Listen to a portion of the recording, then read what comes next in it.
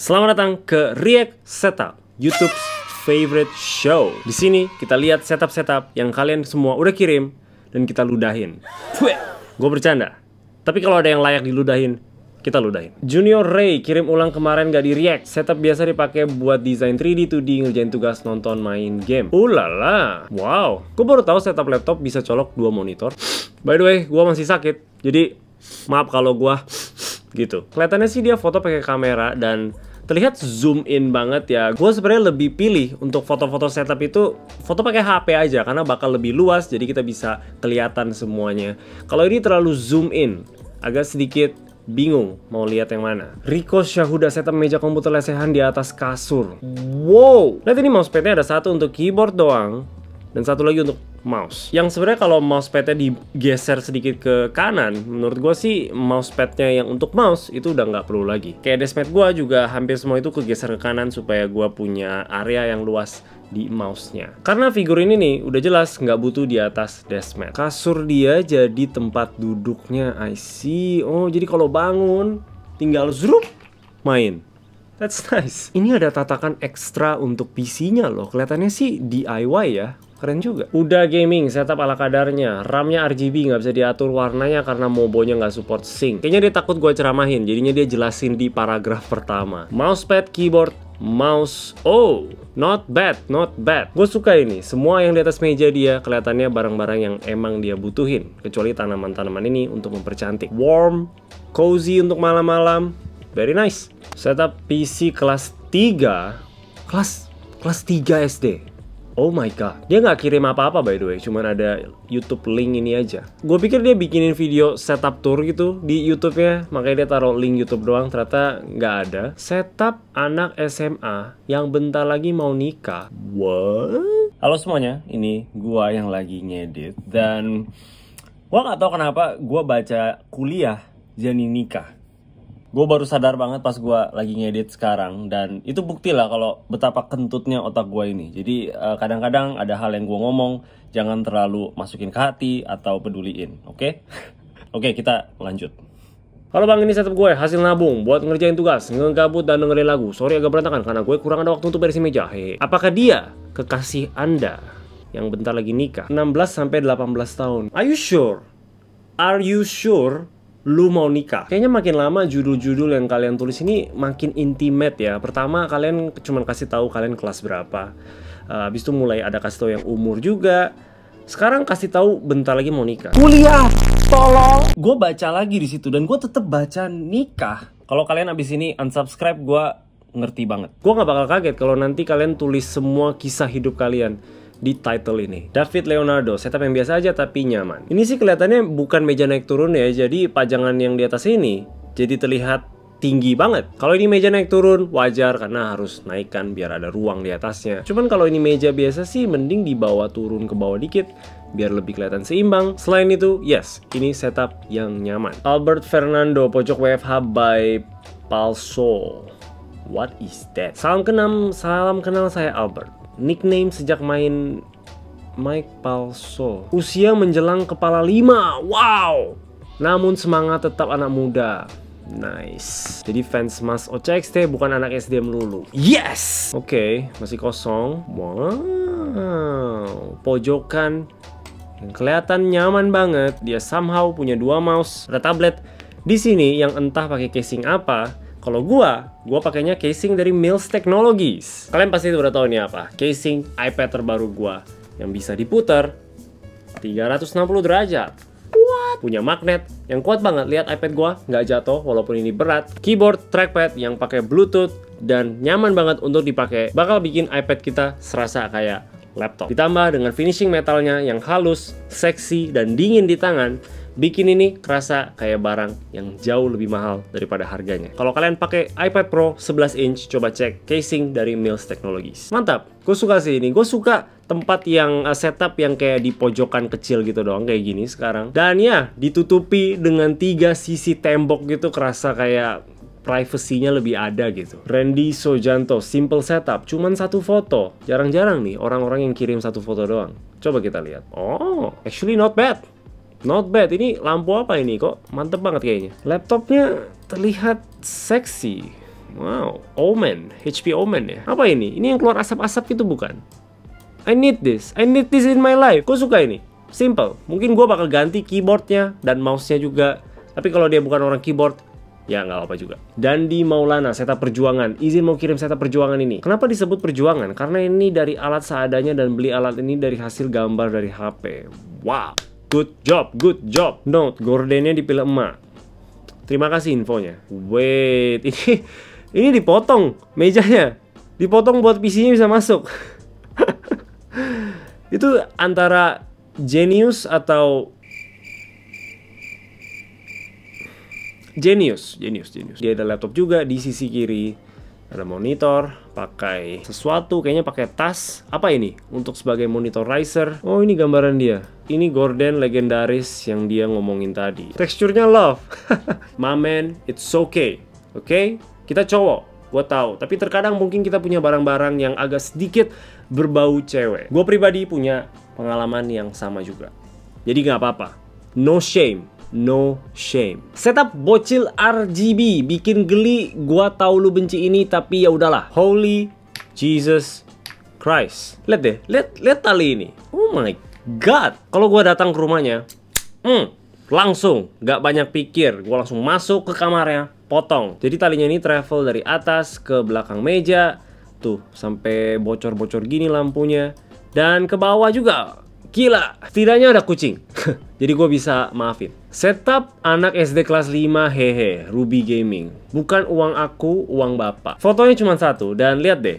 Ini ini kayak dia mungkin habis nonton video gua gitu kan. Terus dia cari tahu oh gimana sih cara submit foto setup gitu ya. Dan sebelum tidur dia nyenderan di kasur terus foto dari jauh.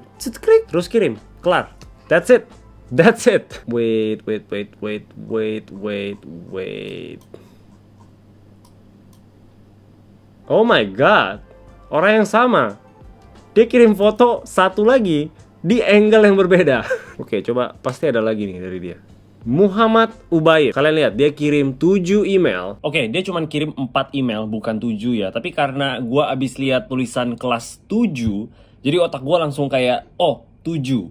Kalian lihat kan, otak gua nih Stupid. Setup laptop murah anak kelas 7 no ribet budget 4 jutaan doang. Halo bang, saya Ubed. Tapi nggak ada apa-apa. Dia kirim email kedua. Halo bang, nama saya Ubed kelas 7. Laptop murah no ribet budget 4 jutaan doang. Masih nggak ada foto. Email ketiga. Halo bang, saya Ubaid. Hehe. Sekarang namanya berubah. Masih nggak ada foto. Dan akhirnya email keempat baru dia kirim foto-fotonya. Pertama dia bilang namanya Ubed. Kedua Ubaid. Ketiga Ubay. Wow, ini mousepadnya entah dari tahun berapa. Lihat logo Logitechnya masih yang dulu banget. Setup liburan. Kalau nanya-nanya dapat dari mana hasil berbakti kepada orang tua. Oh my god. Kita sebenarnya bisa bedain ya mana RGB yang bagus, mana yang jelek. Kalau yang kipas ini masih oke okay, karena warna RGB-nya itu masih seamless gitu dari biru ke bagian agak ungu-ungu terus ke merah, ke kuning, ke hijau, ke biru lagi dia lumayan halus. Walaupun sebenarnya ini titik-titiknya masih kelihatan. Tapi kalau kayak gini, di mana ini bener-bener RGB, bener-bener definisi RGB terjelek sedunia. Gak ada warna di tengah-tengahnya. Kuning,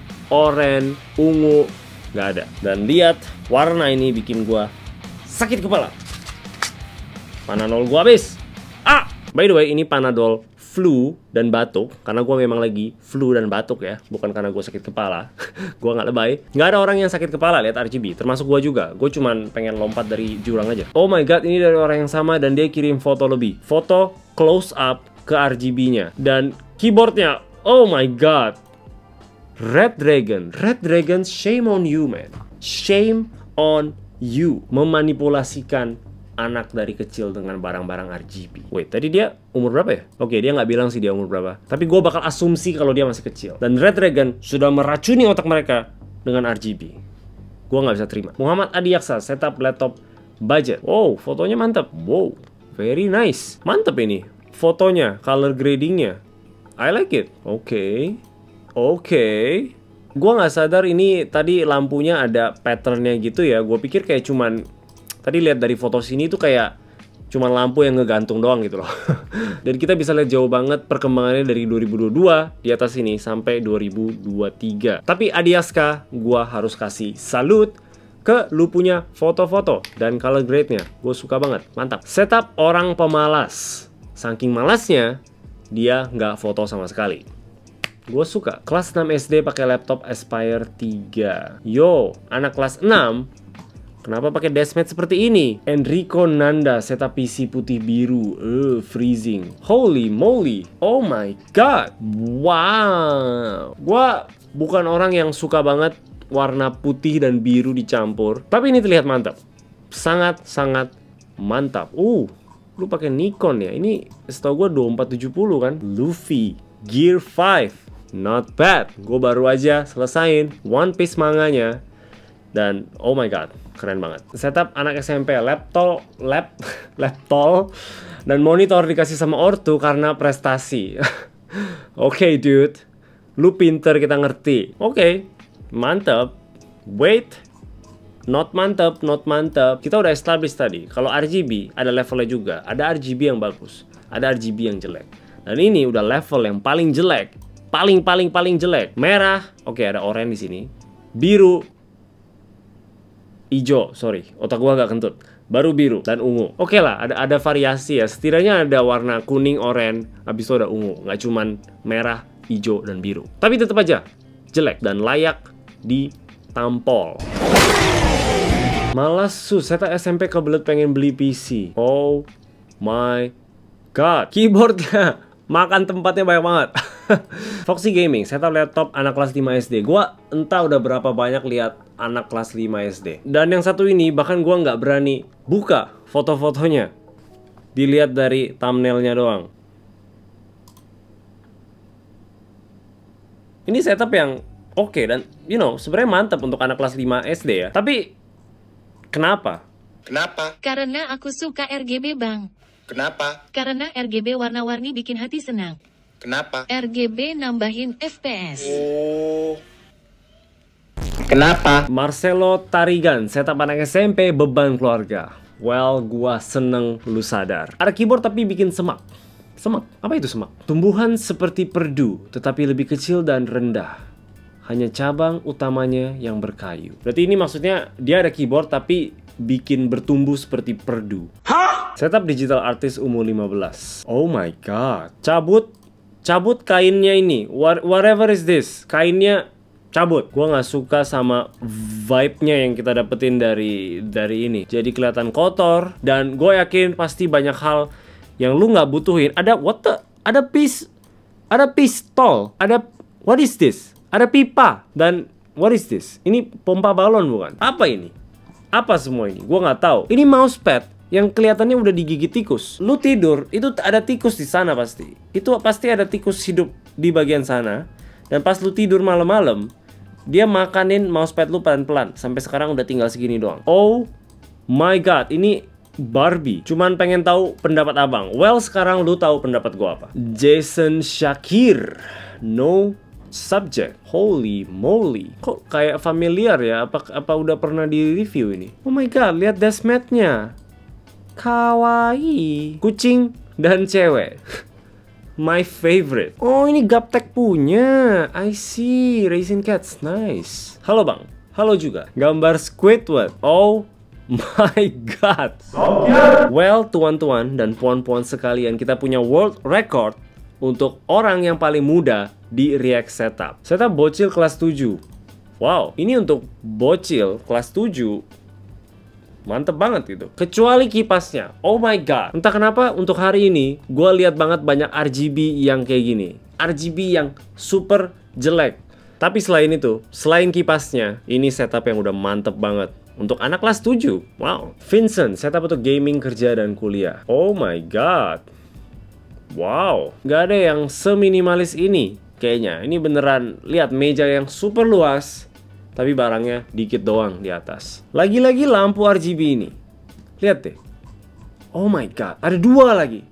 Double Trouble. Nathan Santoso setup music production anak SMA. Hmm. Sejauh ini sih dari semua orang yang punya setup music production gitu ya. Rata-rata sih pada keren semua, bukan rata-rata, ini semuanya sih. Nice. Selalu ada piano di bawah ya. Itu itu karakteristik utama dari sebuah setup musik itu pasti ada piano di bawahnya. Very nice. Banyak ba banyak banget barang loh, tapi bisa dibikin tetap rapi sama dia. Mantap. Wow. My god, ada drum. Satu pertanyaan aja. Ini akustiknya emangnya cukup ya? Cuman 1 2 3 4 di ceilingnya semua kosong gitu. Apakah cukup untuk music production? Saya bocil kelas 5. Oh my god. Ini different kind of ini level RGB-nya udah melampaui pikiran gua. Kita punya red di sini. Kita punya blue di sana. Dan kita punya green di bawah mejanya. Kalian lihat RGB udah meracuni anak-anak kelas 5 SD. Gue takutnya nanti mereka udah gede, menikah, punya anak tiga, dan namanya RGB. Nope, nope. Mending alien datang aja dibanding dunia kita nanti dijajah oleh anak-anak RGB. Setup settingan suram. Wow. Oh my god. Eh. gue agak goosebump. Vibe-nya horror banget, entah kenapa. Padahal nggak serem loh. Ini nyaman bahkan sebenarnya. Iya, kenapa suram ya? Kayaknya karena orang ini sih. Izin masuk YouTube ko. Perjalanan setup ini terbagi dari tiga fase. Satu, fase pindah ngerantau. Kayaknya ini fase yang pertama masih ngerantau. I see. Ada videonya juga. Fase 2 udah dapat gaji dan kayaknya seperti inilah fase kedua. Mantap, mantap. Dan fase 3 udah dapat gaji dan bisa nabung. Dari seperti ini ke seperti ini. God damn it. Oh my god, so good. Damn. I like this. Dan yang gue suka tuh kita bisa lihat kalau sebenarnya barang-barangnya itu masih sama. Kita punya meja yang ini di fase 2, rak yang satu ini lagi, dan di fase yang tiga, walaupun ini terlihat beda jauh banget ya, tapi kita bisa lihat ini masih meja yang sama kan, dan raknya juga masih yang sama. Laptop stand dan laptopnya juga itu masih yang sama. Gua suka banget sama setup ini. Holy moly. Tak kenapa, wallpapernya juga mantep banget, masuk banget sama setupnya dan warnanya. Warna biru di sini dan sedikit ada warna biru lagi di pajangan dan di beberapa buku. Dan dia pakai Desmet Ocha XT. Wow! By the way, gue lagi nggak tahu kapan bisa restock lagi ya. Cuman gue lagi berusaha secepatnya. By the way, cuma pengen bilang kalau Desmet Ocha XT udah restock lagi. Ada yang hitam, ada yang putih. Bisa cocokin sesuai warna setup kalian. Gue bakal taruh linknya di bawah. Thank you. Rizky, gue salut. Ini mantep banget. Setup bocil kelas 6 SD. Keyboard RGB hasil nabung. Well, nah, gimana yang ngomongnya ya? Kayaknya hasil nabungnya sia-sia. Bang setup gue lagi diproses jadi masih belum jadi. Oke, kalau udah jadi kirim aja lagi. Ini glitch atau what the fuck is happening? Oh, Andre setup nugas plus game tipis-tipis. Wow, wallpapernya not bad.